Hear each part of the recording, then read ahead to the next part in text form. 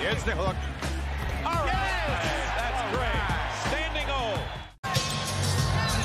On the drive, the shot won't go for Keldon Johnson. And, and you know, minor contact. You, you know, these guys lift weights, Bill. They try to work and get strong.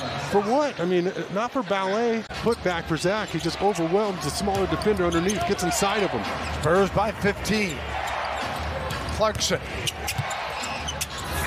Gives to Kessler for the dunk. Terrific on the offensive glass. You can't get caught just watching the flight of the ball. Collins with a miss.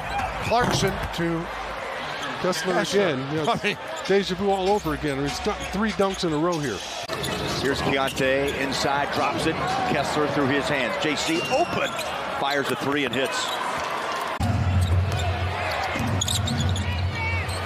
Clarkson. Nice pass, and the open jumper is up and good from Fontecchio. Clarkson. It's a break for two.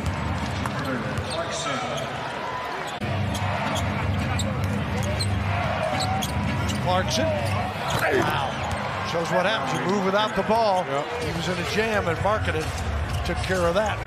Here he's at eight field goal attempts in 11 minutes. Spurs up four. As it should be. Clarkson hits the three.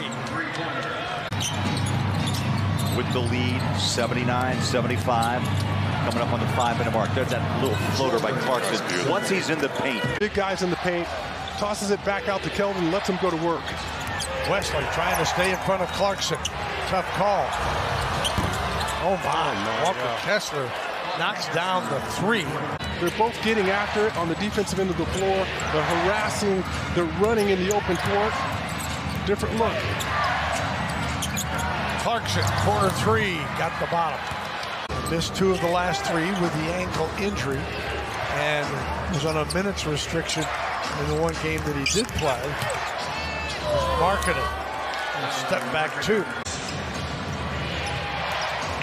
Spurs will catch him next week. Second, and Clarkson. Free agency inside the game. He was the most improved player in the league last year. Clarkson gets it in off the glass here. 328 remaining.